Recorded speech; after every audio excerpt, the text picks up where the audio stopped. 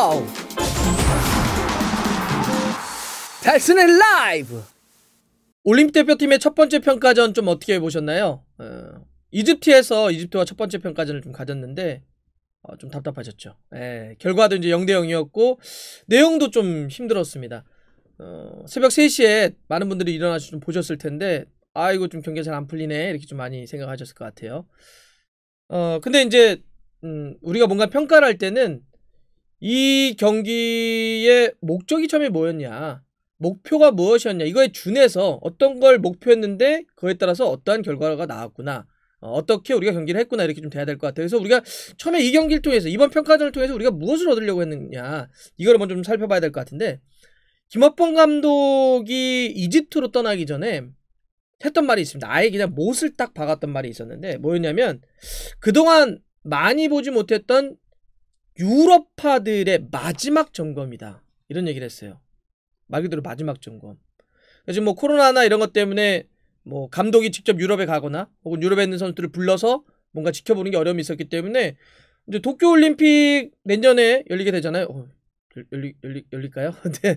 일단 예정대로 한다면 이제 내년에 또 열리게 될 텐데, 음, 이제 시간이 별로 없잖아요. 그러면 이제 빨리 스쿼드를 정비해가지고 최종의 멤버로 이제 본선을 좀 준비를 해야 되는데 더 이상은 이제 뭐 실험을 하거나 이러기가 쉽지가 않아요. 그러니까 유럽파들 그동안 보지 못했던 선수들 마지막 점검이다 이런 이야기를 좀 했습니다. 그래서 이번 이집트에서 이제 두 번의 평가전을 하잖아요. 이번에 이집트와 경기한 거고 그다음에 또 이제 토요일 밤에 브라질과 두 번째 평가전을 가게 될 텐데 이 두 차례 평가전을 통해서 본선에 함께 갈 선수 그다음에 아쉽지만 함께 가지 못할 선수를 좀 정리를 할 것이다. 이렇게 못을 박았습니다. 마지막 점검이라고 특히 유럽파들에 대해서.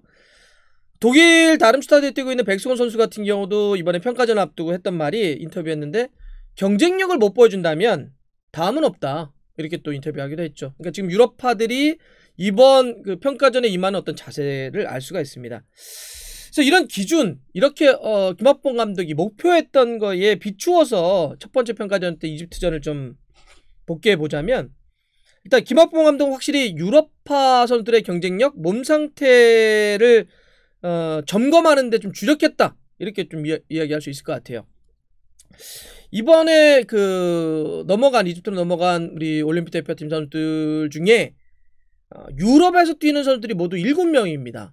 이 중에 어, 무려 다섯 명을 이번에 선발 라인업을 짰습니다. 제가 하나 보여드릴게요. 자, 이집트와의 첫 번째 평가전의 그 선발 라인업인데 보시면 크로아티아에서 뛰고 있는 수비수 김현우, 포르투갈 리그에서 뛰고 있는 미드필더 김정민, 벨기에 무대에 뛰고 있는 이승우, 독일에서 뛰고 있는 정우영, 역시 독일에서 뛰고 있는 주장원장을 차고 뛴 백승호 이렇게 다섯 명의 선수들을 선발로 유럽파들을 어, 포함 을 시켰고요.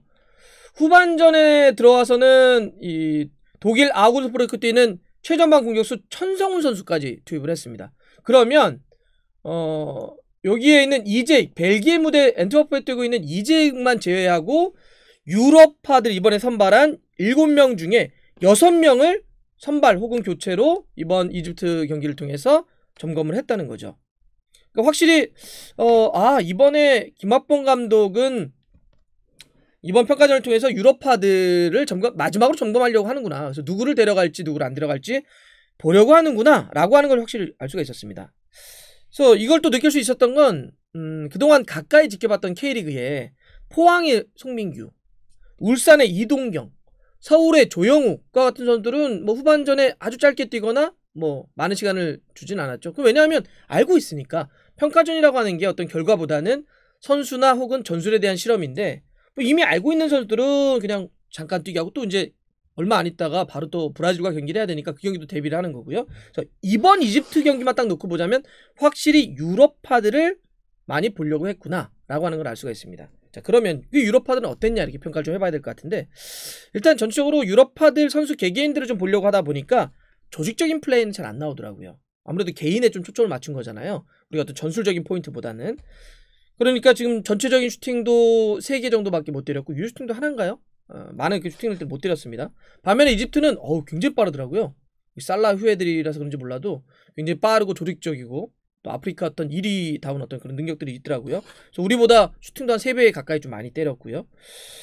사실 우리 골키퍼 송범근 선수의 슈퍼 세이브 아니었으면 지, 지는 경기였죠. 전반전에 두 차례, 후반전에 한 차례 모두 세 차례 정말 슈퍼 세이브를 보여주, 면서 어, 이제 우리가 0대 0까지는 좀 갔는데 어쨌든 전적으로 좀 답답했어요. 예, 상당히 좀 많이 밀렸던 경기라 볼 수 있겠는데 그래서 이번 포인트였던 유럽파들의 그러면 이제 뭐 평가라고 할까요?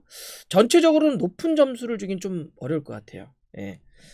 음, 지금 다들 이번 유럽파들이 소속팀에서 그렇게 주력으로 계속 그 뛰는 선수들은 좀 적어요.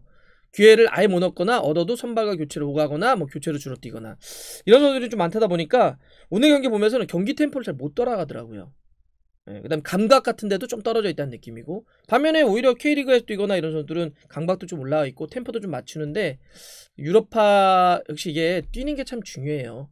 그 그냥 이름값 높고 뭐 어, 이 명성 이런 것보다 실제로 얼마나 실리적으로 선수가 뛰면서 몸을 끌어올리느냐 경쟁력을 쌓아가느냐 중요하죠. 특히 이 선수들 같은 경우는 이제 그 올림픽 대표라고 하는 게 23세 이하 그 이 나이 제한이 있는 대회이기 때문에 음 한참 뛰어야 될 이 선수들이 못 뛰게 되면 확실히 성장에 좀 문제가 좀 있는 것 같습니다.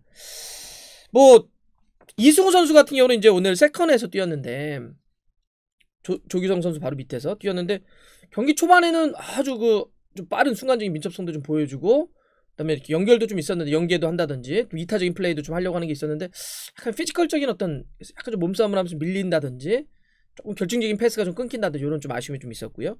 정우영 선수는 이제 오른쪽 날개로 좀 뛰었는데 크로스가 조금 아쉽네요. 음, 조금 더 자신감 있게 좀 플레이를 해줬으면 좋겠다는 느낌이었고 백승호 선수 같은 경우는 이제 주장 완장을 좀 차고 뛰었는데 뭐 그래도 이렇게 전적으로 경기를 좀 끌어가는 느낌은 있었는데 앞쪽으로 조금 더 날카롭게 전진 패스 의 그런 롤을 좀 해줘야 될 것 같은데 조금 더 이렇게 날카롭게 확확 빠져들어가는 이런 걸 좀 더 보여줬으면 어땠을까라는 아쉬움.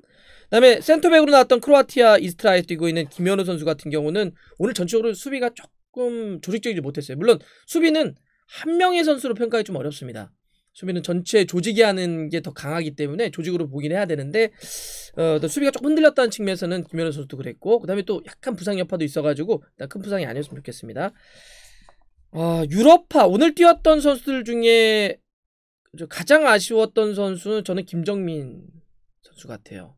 미드필더로 뛰었는데 음, 물론 이제 교체 투입된 천성훈 선수 같은 경우도 공격수 아주 높은 점수를 받긴 좀 어려울 것 같아요. 이렇게 장신의 어떤 힘이 있고 이런 건 있지만 움직임이라든지 볼을 잡는 그 공간에 대한 이해라든지 이런 게 조금 좀 부족하다는 느낌이어서 그러긴 했는데 그래도 저는 계속 가장 이렇게 보면서는 아, 안타깝다.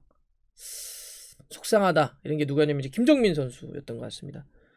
어, 제가 김정민 선수 이 고등학교 때, 금호고등학교 때부터 뛰는 거를 현장에서 보면서 참 볼을 예쁘게 잘 찬다. 음, 킥의 능력이 참 좋다. 그래서 참조 선수가 성장을 계속한다면 참 얼마나 무서운 선수가 될까 이런 기억이 있어서 그런지 몰라도 어느 순간부터 김정민 선수가 어, 멈춰 있거나 혹은 그런 것보다도 더 못 보여주고 있는 기대보다도 이런 느낌이어서 참 안타까워요. 특색이 좀 사라져 버린 것 같아요. 자기 강점이라고 할까요? 자기 색깔? 음, 좀 너무 평범하게 바뀌어버린 것 같아요. 그러니까 오늘도 이제 중앙 미드필더면 거기서 뭐 수비적으로 아주 강하게 좀 뭔가 커버를 해준다든지 아니면 공격적으로 지원을 아주 세게 해준다든지 미드필더로서의 자기 한 칼, 자기가 분명히 남들보다 잘할 수 있는 자기만의 무엇 이거 좀 보여줘야 되는데 음, 좀 아쉽습니다. 김정민 선수가 이게 좀 그런 이런 뭐 음, 침체라고 할까요? 이게 좀 오래 가는 것 같아서 이거 지금 내 나이가 99년생이고 만으로 이제 20살인데 이 선수가 11월 13일 생이거든요. 음. 그러면 오늘이 딱 생일이네요. 그러면 이제 어 21살이 된 건데 만으로 하면 13일 생일이니까 참 뭔가는 한번 진짜 탁 치고 갈 넘어야 되는 그런 게 좀 필요한 정말 선수가 아니냐. 안타까워서 그렇습니다. 그래서 김정우 선수 좀 봤고요. 그래서 저는 이제 그 자리에 오늘 미드필더 아까 백승호 선수도 전진 패스라든지 아니면 뭐 수비적인 역할, 뭐 김정민 선수 이런 걸 놓고 보자면 아 여기는 원두재 선수가 정말 중요한 선수가 되겠구나. 원두재 선수가 지금 이제 벤투 감독이 국대로 월반에서 올라가 있는데 어, 정말 이 원두재 선수가 올림픽 할 때는 그 미드필더에서 역할이 너무나 절대적이겠다 이런 생각이고 또 오늘 전적으로 좀 불안했던 수비 같은 경우도 여기도 뭐 정태욱 선수가 지금 국가대표팀으로 월반 가서 있는데 여기도 이제 와일드카드를 포함을 해서 좀 보강해야 될 고민들이 좀 필요하겠다. 이선도 이강인 선수가 이제 오진 않겠어요. 이강인 선수가 나중엔 좀 다시 오겠지만 거기도 좀 더 고민들 좀 될 것 같습니다. 그래서 어 일단 그 이번 첫 번째 이집트와의 평가전은 아까 했던 것처럼 유럽파들 평가 점검을 하는데 중점이었다고 좀 보시면 될 것 같고요. 이제 두 번째 경기가 토요일 밤 10시에 어우 브라질하고 싸우게 되는데 브라질이 이번 명단이 정말 너무 좋습니다. 최전방 그러니까 공격적인 자원인 레알 마드리드 호드리구부터 해서 센터백이 아스날의 이 가브리엘 마갈랑이스까지 있거든요. 굉장히 좋은 자원들이 앞뒤로 좀 배치되어 있기 때문에 우리로서는 좋죠. 평가전인데 너무 모르게 싱거운 상대보다는 센 팀하고 만나는 게 좀 좋은데 이 경기에서는 어떤 어, 우리가 또 경기력을 보여줄지 또 어떤 선수 개개인들이 어떤 평가점을 좀 받을지 네, 브라질전 끝나고 또 한번 점검해 보겠습니다.